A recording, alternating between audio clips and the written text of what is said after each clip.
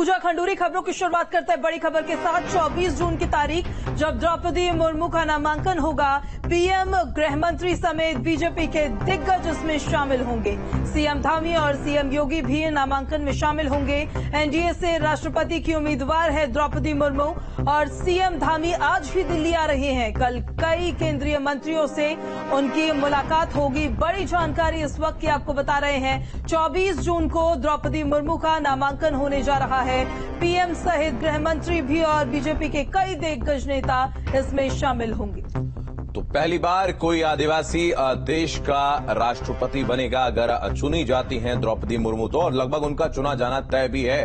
तो एनडीए से राष्ट्रपति की उम्मीदवार हैं द्रौपदी मुर्मू और आपको बता दें झारखंड की राज्यपाल वो रह चुकी हैं और 24 जून को उनका नामांकन होना है।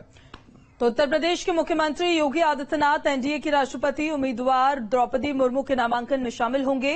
24 जून को द्रौपदी मुर्मू का नामांकन होना है। इस मौके पर उत्तराखंड के मुख्यमंत्री पुष्कर सिंह धामी भी नामांकन में शामिल होने के लिए आज दिल्ली पहुँच रहे हैं। तो बता दें कि पर्चा दाखिल करने के दौरान प्रधानमंत्री गृह मंत्री बीजेपी अध्यक्ष समेत तमाम नेता शामिल होंगे। आपको बता दें, राष्ट्रपति चुनाव के नामांकन का आखिरी दिन 29 जून है। वहीं चुनाव 18 जुलाई को होने हैं और चुनाव के नतीजे 21 जुलाई को घोषित किए जाएँगे। तो एनडीए की तरफ़ से द्रौपदी मुर्मू को उम्मीदवार बनाया गया है और द्रौपदी मुर्मू 24 जून को अपना नामांकन दाखिल करेंगी। तो 24 जून को द्रौपदी मुर्मू नामांकन दाखिल करेंगी पीएम गृह मंत्री और बीजेपी के कई दिग्गज इसमें शामिल होने जा रहे हैं। राष्ट्रपति चुनाव की सरगर्मियाँ अब तेज होती नज़र आ रही हैं।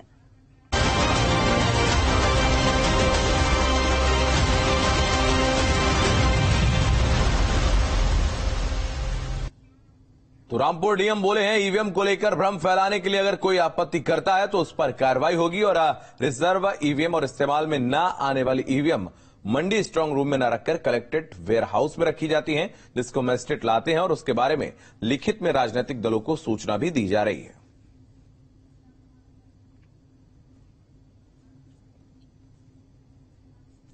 तो अब चुनाव के लिए पोलिंग पार्टियाँ रवाना हो गई है। एसपी और बीजेपी में कड़ी टक्कर देखने को मिल रही है। रामपुर लोकसभा का ये समीकरण भी हम ग्राफिक्स के ज़रिए आपको दिखा रहे हैं कि कितने वहाँ पर मतदाता है और कल रामपुर में उपचुनाव होना है, जिसको लेकर एसपी और बीजेपी की तरफ़ से पूरी कोशिशें भी की गई जब उपचुनाव को लेकर प्रचार और प्रसार किया गया। तो रामपुर लोकसभा में पाँच विधानसभा सीटें हैं जहाँ पर ये वोट डाले जाएँगे। दो हज़ार अट्ठावन हमारे बूथ हैं तो सभी बूथ पे हमारी ईवीएम वीवीपैट मशीनें यूज़ होती है। और हमारे जो विधानसभा के प्रभारी हैं हमारे एआरओ सभी को पर्याप्त मात्रा में बैकअप के रूप में भी एडिशनल ईवीएम दी जाती है।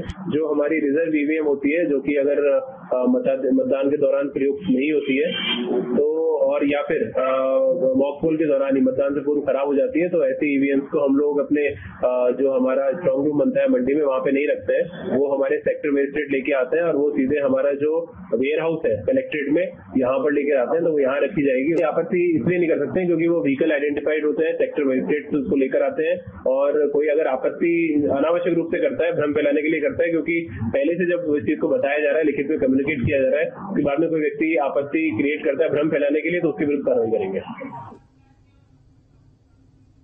और आजमगढ़ में कल होने वाले उपचुनाव को लेकर कड़ी सुरक्षा के बीच पोलिंग पार्टियाँ रवाना हुई। पोलिंग पार्टियों के सकुशल रवानगी के लिए सुरक्षा के व्यापक इंतज़ाम किए गए।